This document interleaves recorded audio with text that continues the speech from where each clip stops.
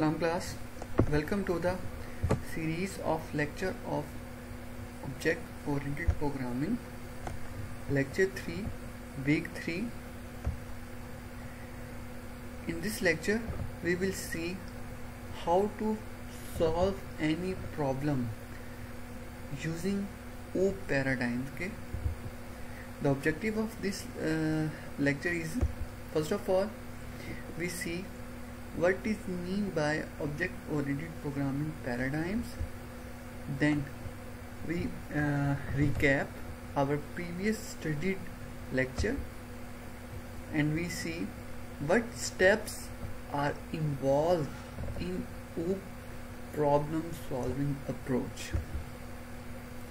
And at the end I will show you um, example which we'll uh, use for solving its problem by using object oriented programming paradigms.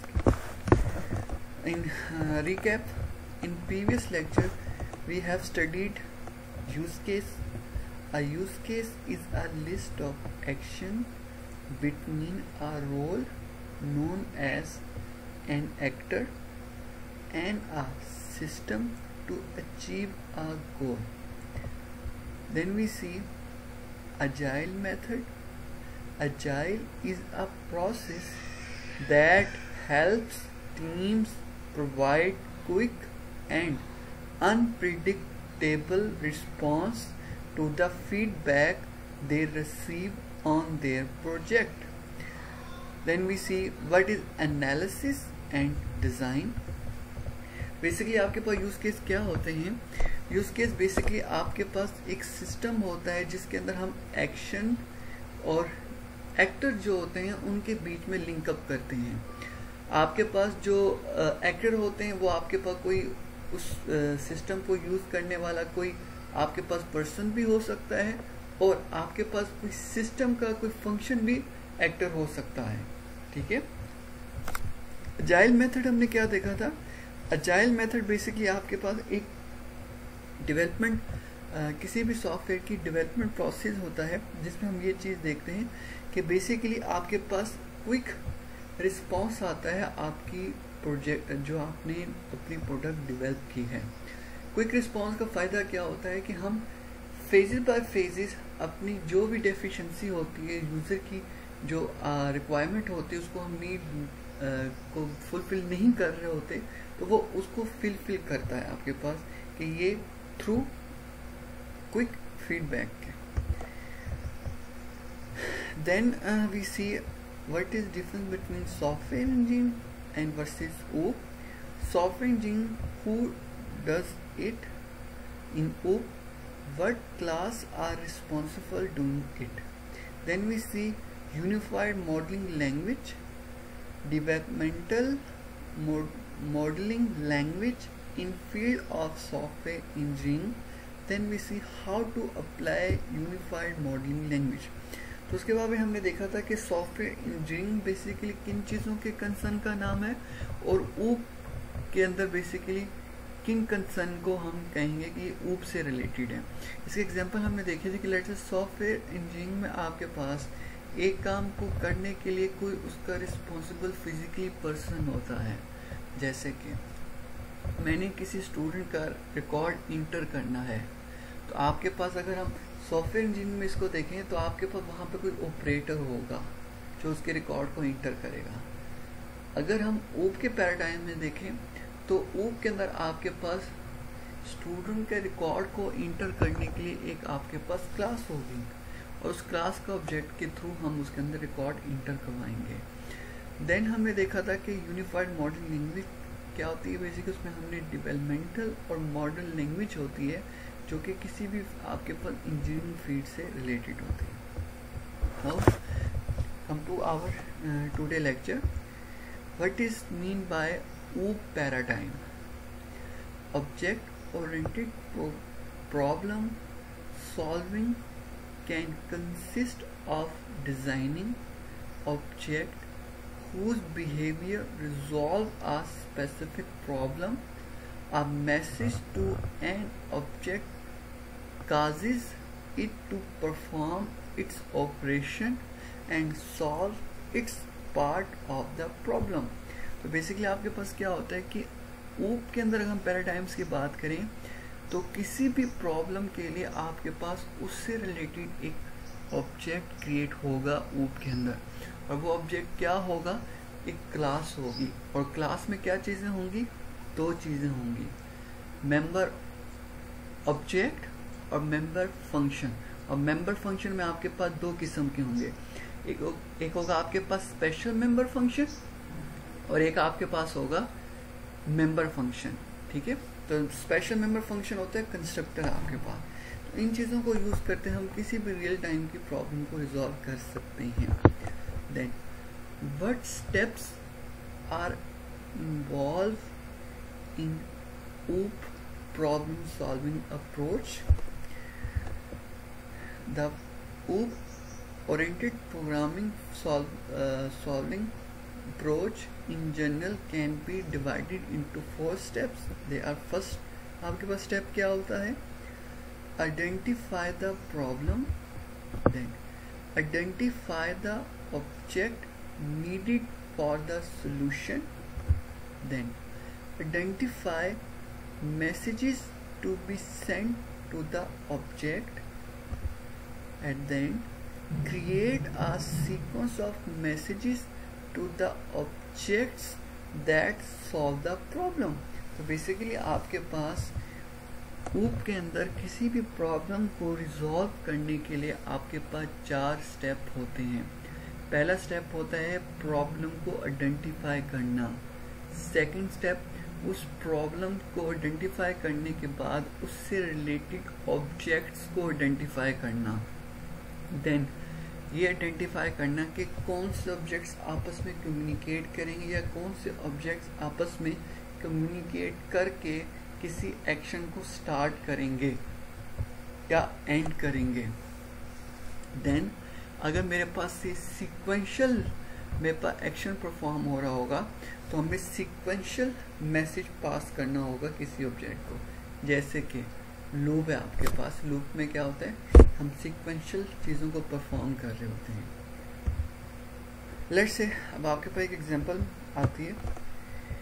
मेरे पास example क्या है?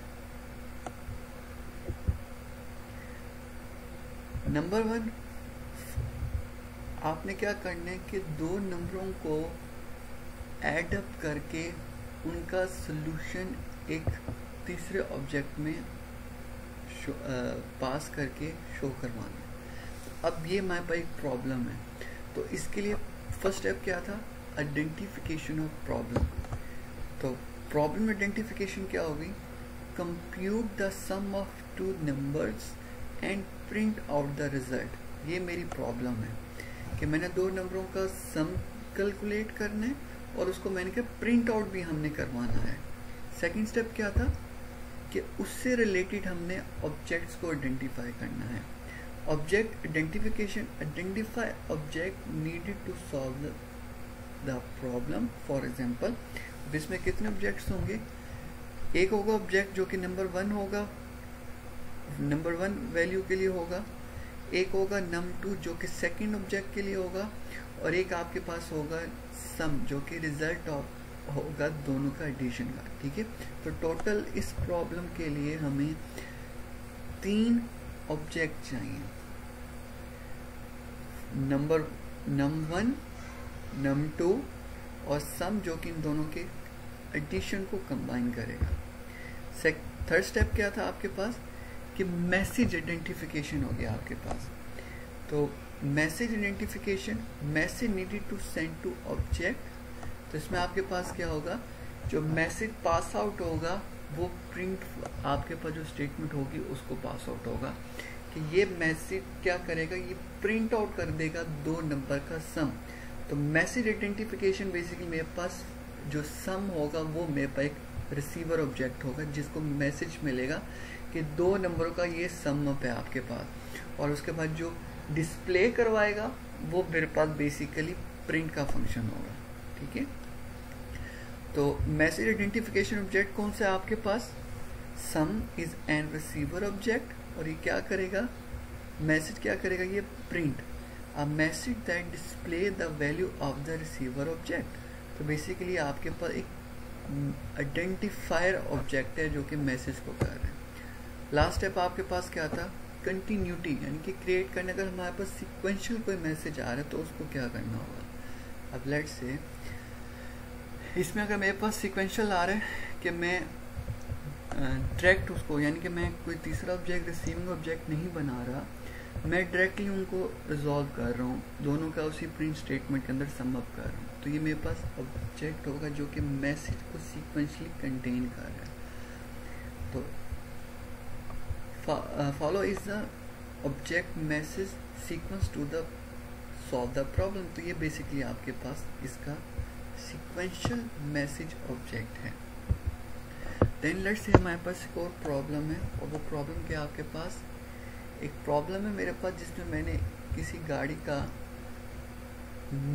Fuel consumption और उसकी maximum speed को मैंने control करना है। ठीक है? मैंने क्या करना है कि मेरे पास एक प्रॉब्लम है। इस प्रॉब्लम के हमने दो चीज़ों को कंट्रोल करना है। एक तो गाड़ी की स्पीड को और एक गाड़ी की फ्यूल कंजम्पशन को हमने मॉनिटर करना है। तो अब इसके लिए फ़ंक्शंस क्या होंगे और ऑब्जेक्ट्स क्या होंगे और इसको हम ऊप के पैराडाइम में किस तरह से अप करेंगे? तो फ़र्स्ट स्टेप मेरे पास क्या था? आइडेंटिफिकेशन ऑफ़ ऑब्जेक्ट तो बेसिकली आपके पास दो ऑब्जेक्ट आ रहे हैं इसके अंदर। नहीं, पहला स्टेप आपके पास था प्रॉब्लम आइडेंटिफिकेशन ठीक है? तो प्रॉब्लम आइडेंटिफिकेशन में हमारे पास क्या है कि प्रॉब्लम क्या है मेरे पास? प्रॉब्लम ये है कि मैंने दो चीज़ों को मोनिटर करना है गाड़ी की, एक स्पीड को, एक फ्यूल कंजम्पशन को। तो देन क्या हो गया आपके पास? Control the speed limit of car and monitor the fuel consumption अब इसके लिए आपके पास कितने ऑब्जेक्ट चाहिए? सेकंड स्टेप आपके पास क्या था? ऑब्जेक्ट आइडेंटिफिकेशन तो then identify object needed to solve the problem तो इसके लिए आपके पास कितने ऑब्जेक्ट चाहिए? दो ऑब्जेक्ट एक फ्यूल का होगा और एक मैक्स स्पीड का होगा. देन आपके पास थर्ड स्टेप क्या था? मैसेज आइडेंटिफिकेशन आपके पास होगी. वो क्या होता है, आपके पास message needed to send to object तो इसमें आपके पास कौन सा मैसेज रिसीवर होगा? आपके पास बेसिकली एक और वेरिएबल जो आपने अभी दो आइडेंटिफाई की हैं, वो बेसिकली ही आपके पास मैसेज आइडेंटिफिकेशन है। वो आइडेंटिफाई कर रहे होंगे कि लिमिट अगर लेट से हंड्रेड या सिक्सटी से ज़्यादा होगी तो एक अलार्म जनरेट कर देगा। फ्यूल मिनिमम से आपके पास कम हो गया तो एक अलार्म जनरेट करें। तो मैसेज यानी कि अलार्म जो होंगे, वो बेसिकली आपके पास मैसेज आइडेंटिफिकेशन हो। देन आपके पास क्या होगा?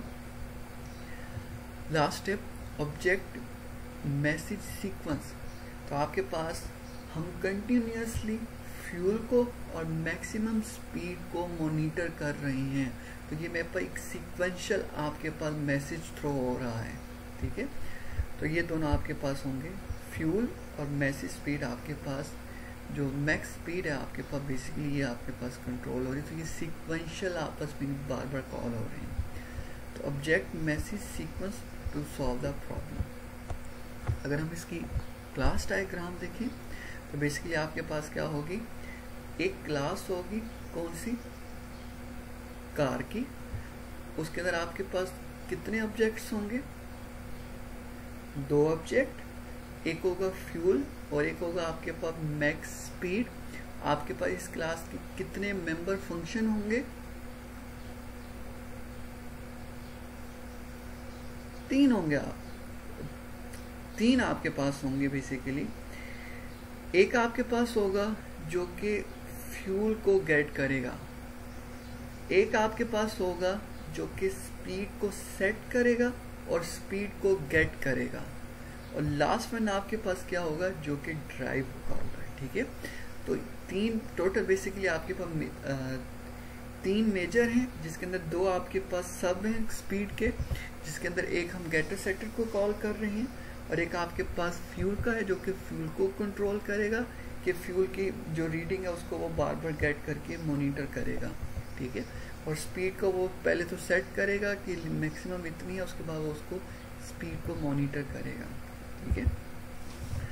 So today lecture is and now I am going to conclude our today lecture we will see we we have see what is object oriented programming paradigms object oriented problem solving can be consist of designing object whose behavior solve a specific problem a message to an object causes it to perform its operation and solve its part of problem तो basically हमने ये देखा कि आपके पास वो paradigm क्या होता है कि किसी भी प्रॉब्लम के रिलेटेड उसके लिए एक ऑब्जेक्ट क्रिएट करना और वो ऑब्जेक्ट बेसिकली आपके पास एक क्लास का होगा।